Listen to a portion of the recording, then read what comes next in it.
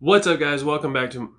What's up, guys? Welcome to Among the Fence. My name is Aaron, and if it's your first time seeing one of my videos, I'd like to welcome you to my channel where I do music reviews on albums and EPs and singles. We just chill and talk about all the things that we love or hate. And if you happen to be interested in metal music, something that goes a little bit deeper than Metallica and Slayer and Black Sabbath, but not that I don't love those bands, but I go a little bit deeper into subgenres like deathcore and metalcore and technical death metal, things like that. I'd like to encourage you to subscribe ring the bell icon that way you don't miss out on any of my future stuff and just help support me and my channel. And if you have anything you want me to review, new or old or whatever, leave a comment below letting me know what it is and I will make it happen for you. But for today's review, we're going to be checking out the new album Kostolom by the band Slaughter to Prevail. Kostolom is the second studio album from the Russian deathcore band since 2015. Kostolom meaning bone breaker or bone crusher. And I really do appreciate what this band does. They basically set out to be the heaviest thing that they could possibly be, and they usually achieve it just about every single time. Their vocalist, Alex Terrible, is phenomenal. He's got some great vocal covers on Instagram and YouTube, just a lot of fun.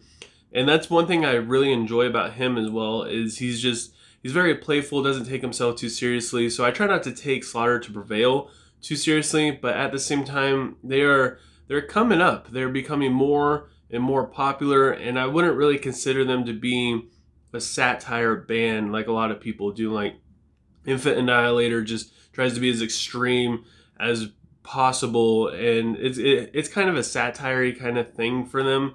They're not they don't do uh, live shows or anything like that. While Slaughter to Prevail I mean, they're starting to tour more. They're starting to get out there more. They're producing way more serious music videos, and they're just starting to take themselves more seriously. So, if you consider them to be a satire band, I definitely would not anymore. The album opens up with what I guess would be the title track. It's called Bone Breaker. It comes in with a very dynamic riff with a nice little melody playing in the background. I'm not a big fan of the vocal performance, specifically in the verses. The clean vocals just they come off kind of awkward, and I gotta admit the lyrics are uninspiring as well. The outro slash breakdown thing is probably the best breakdown on the entire album, but it's still lacking and it is still very, very generic for deathcore. I already did a review on Demolisher and Zavili Abalo. I believe that's how it's pronounced. A Demolisher I reviewed over a year ago, and it is still one of the heaviest songs I've ever heard, and Alex's vocals are absolutely insane. I gave the song a 3.5 out of 5. It still holds up to that as well. I enjoy the chorus, just the song all around. It's just a lot of fun. You could put it on, you don't have to pay too much attention to it. It just it, it's superficial in that sense, but it still works. I wouldn't say it's the best song on the album, but it's definitely it, it's a phenomenal single to be released to get everybody pumped for the album. And Zavili Abalo is also fantastic. I gave it a 4.1 out of 5. I felt like this song really opens up what this band can do and demonstrates that they're more than just a one trick pony, which is something I've had an issue with in the past. It gets a little bit more dynamic than normal, and it showed that they could just do more. They could do more than just blast beats and chugs and some dissonance here and there, and Alex can do more than just super low vocal growls. Baba Yaga was another single to be released from this album. Uh, it's part of a Slavic folklore. Baba Yaga is one of three supernatural sisters, and she's either known for eating children or helping travelers. And this is a Slaughter to Prevail song, so I would assume it's probably the former.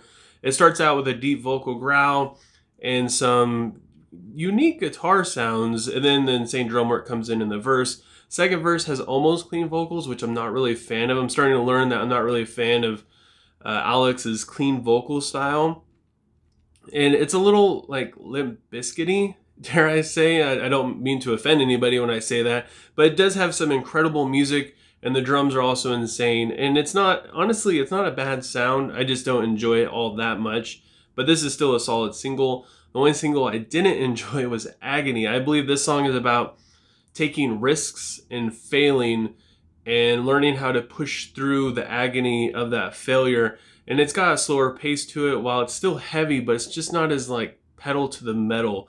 I'm not a fan of the cleaner vocals again in the verse.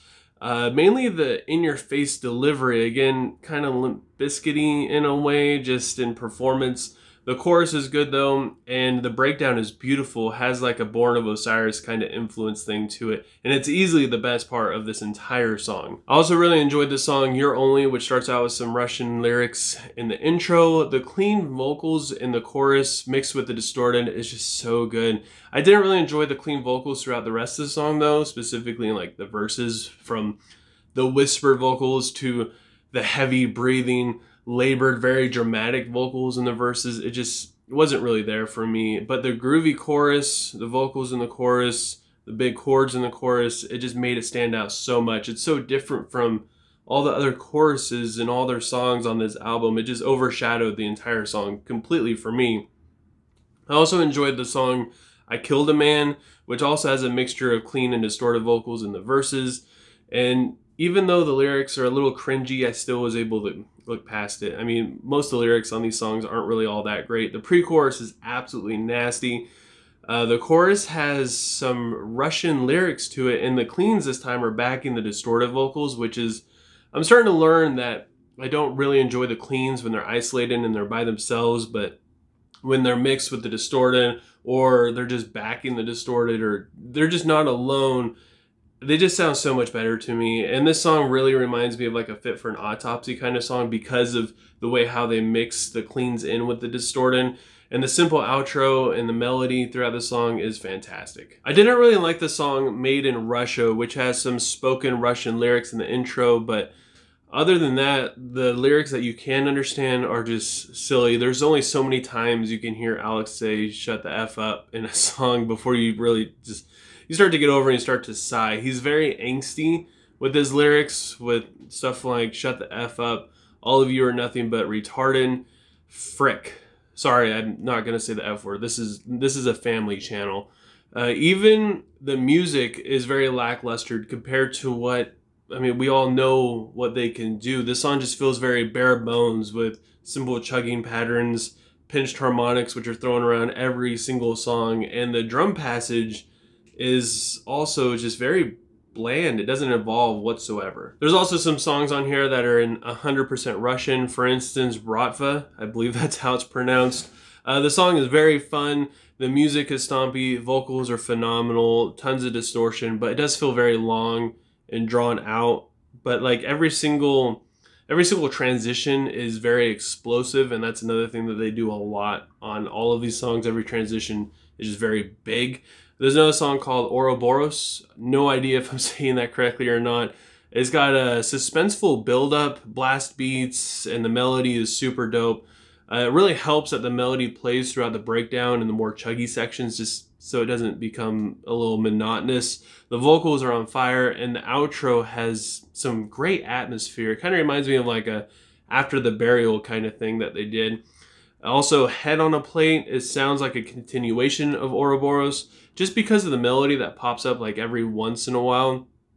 It's a little bit more vocal driven and there's more vocal variety in the song, which I enjoyed a lot. And I loved the build up going into the breakdown and the solo mixed with the drum work, which sounds like machine gun fire. It's just, these songs are all really good. The only one I didn't really enjoy that much was probably Bratva, just because it was it, it just was overly too simple. There wasn't really a whole lot going on, and it's just very, it feels so long and drawn out. The closing track, Father, has some great vocals in the intro, but then the music that comes in is kind of predictable. I mean, that's going to happen after listening to the first 11 songs on this album.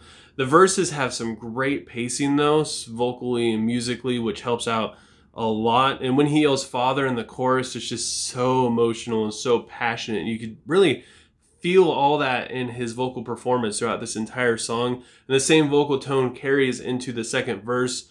And it's just, it's so freaking good.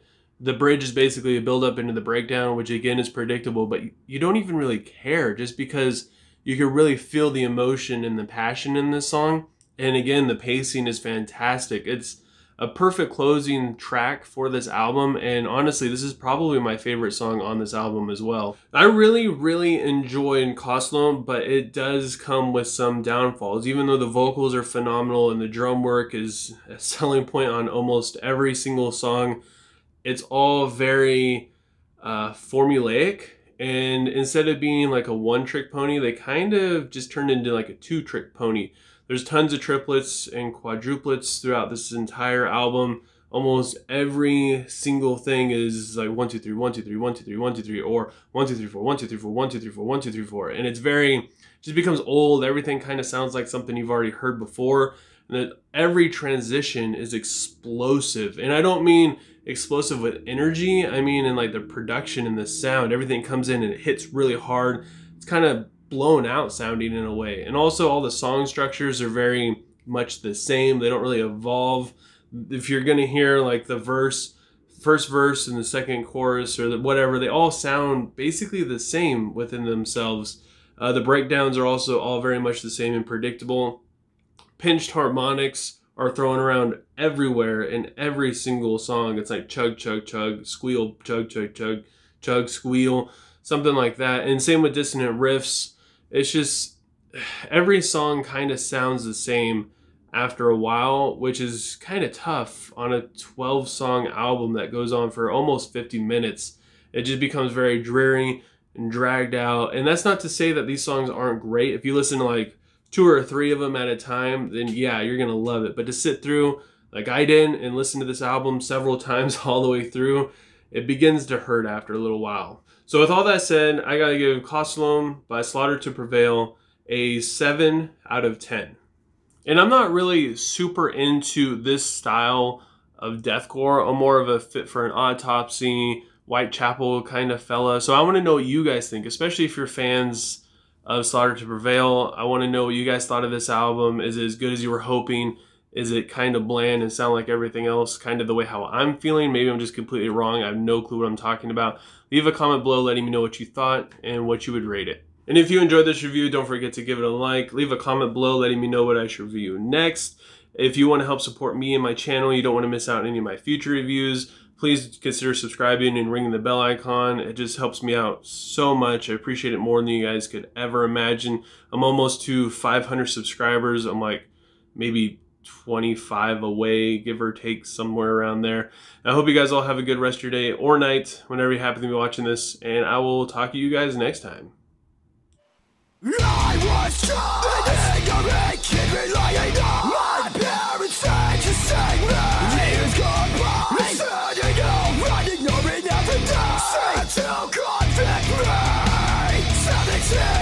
top of my